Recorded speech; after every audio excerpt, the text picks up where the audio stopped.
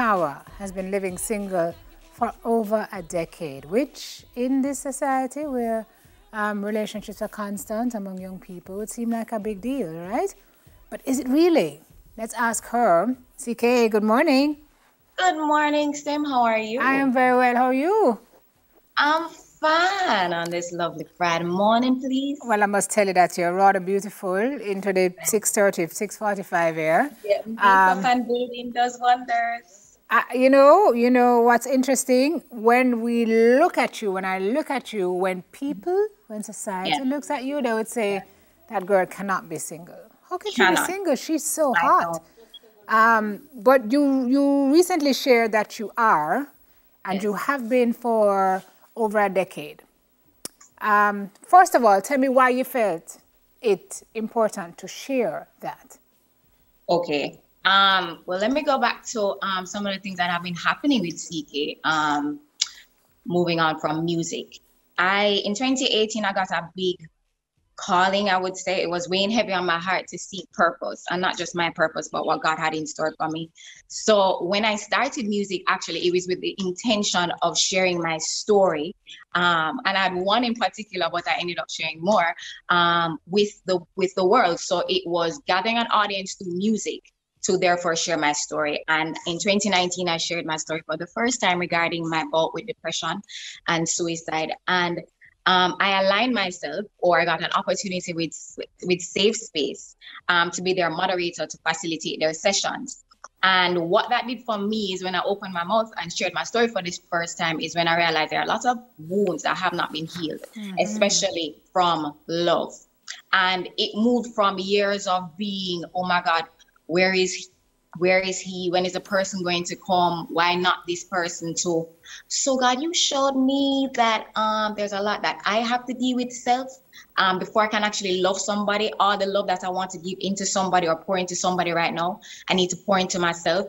And so since 2019 i think was my first intentional move to really be single because i needed to offer myself the time to heal. Yeah tell me about your um history of relationships, right? I mean, without mm-hmm. going into too much detail, because right, right, right. there is this notion that we fall in love and people complete us. But I hear you yeah. saying you're doing the self work so that you're yeah. whole when you step into yeah. your next relationship. Um, yeah. So obviously, the relationships you've had have taught you that's not true. Yeah. No, here's the thing.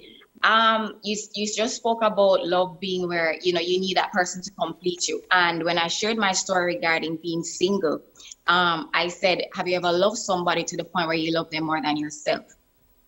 And that was what my last relationship for me was. And when I came out of it, I mean, that was the last time I loved and loved wholeheartedly. And that's why when I said I shared my story for the first time, that's when I realized that that part of me that had loved so fearlessly, so boldly, so unapologetically was not there. She was mm-hmm. very guarded, she was protected. I protected her. And I think part of it, I blamed her for the hurt that I felt. But that was the sort of person and lover that I was. I loved beyond me. And that's why it was very important for me beyond that relationship or moving from that relationship to find myself, to seek myself, to discover who she is, what she likes and such. And um, that's where CK was born. And I guess that's why I wanted to also share my story regarding singleness because what happens is life happens or time flies when you're in pursuit of yourself, when you are discovering yourself, when you are healing, maybe when you're denying that you need you have some healing to do. And for me, it just happened to be over 10 years. Yeah. You know, but it's to show that. Go ahead, go ahead. No, it's just to show that really and truly you can move from I read this book, this Iyanla Vanzant book, I think it was In the Meantime. Yeah. Or um The Value in the Valley. Yep. it was a value in the valley. My mother gave too. that book. And it said the first example of love is love to yourself. Yep. And Sim, I'm not gonna lie. My my thing was, all right, Claire, hurry up and love yourself so that you can find somebody who will love you. And then it moved to stop. I don't want somebody to love because as a giver in love, I am most likely to put you before myself. And I couldn't risk it, Sim. I couldn't risk not giving myself the attention I was I was getting or I was giving myself. Yeah. CK was being born. Yeah. I was loving to sing. I was loving to perform. As finally, after 20 plus years, because you know your girl is young, right? 20 plus years, I finally was discovering myself and I couldn't risk like not focusing on that anymore. And so I was fearful of love. Yeah, but also, but also, CK, there is a there is a beauty and a peace in being at a place where you can be so great with your self, oh, like alone, like you know, some people are in relationships and they're so weighed down and it's heavy and because they're going through a lot and they're afraid of leaving because they don't want to be alone. Exactly. Not knowing that if or you step on the over. other side of that, you will be the happiest you can be. So you are you're proving that no. Um, Ten years later, how do you feel? Are you, do you feel like you know I'm at that place where now I'm holding enough to get back in the game, or how do you oh, feel? I feel I have never felt as liberated and as um, free or open to love as I am now. And ironically, it happened right after I shared the story. It was the hardest story to tell because you feel as if people are going to judge you. But I know that there are many ladies who are like me who um, were just focused on their careers or this and that and kind of push love to the back. Mm-hmm. But honestly, within their hearts, wanted something, wanted that commitment. But I'm here to say, listen, there is a freedom and a power that comes with owning your story, with sharing your testimony, but also putting it out there for God and the universe to actually give it you what you're trying to attract for yourself. Yeah. So I feel very open and I'm very much open to love as I once was again. Right. So no to situationships, which you've fallen yeah. into. Negative, yeah. no more of those. And the situation no, no. thing is what you get into when you're settling, right? As a situationship. All right, let me. I mean, people have different purposes for their situationship. Some people are comfortable and don't like the idea of commitment and find that situationships work for them.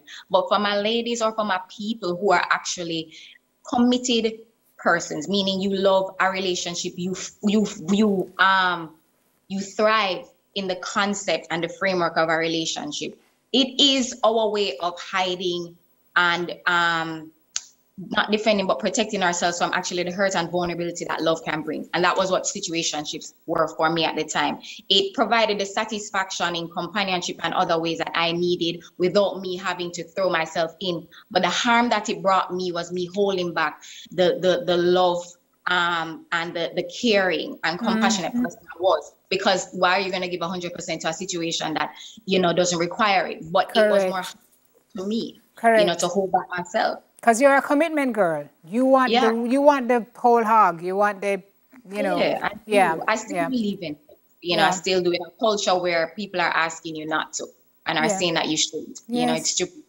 Yes, because love is a lovely thing. It's just a lovely With thing. the right person and in a healthy state for both you and that person, it is a lovely thing. Yes, girl, I got you. I got you. Um, I'm really, really happy that you chose to spoke out about this because there are a lot of women who are in your position and they need to know that it's, you know, it's okay. It's okay. It's okay. It can get lonely, but it's okay. And if you find yourself first, then eventually you will find that right person for you. Agreed, agreed, agreed, yeah. agreed. Thank you very much, CK for Thank bearing you so your soul this morning. So nice Thank of you to do Thank that. You. And all the best in your journey. And when you find love, let us know. I know, okay. right? Okay. Singer and model Clara Kahwa, CK, joining us this morning on Smile. And we have more when we come back from this break.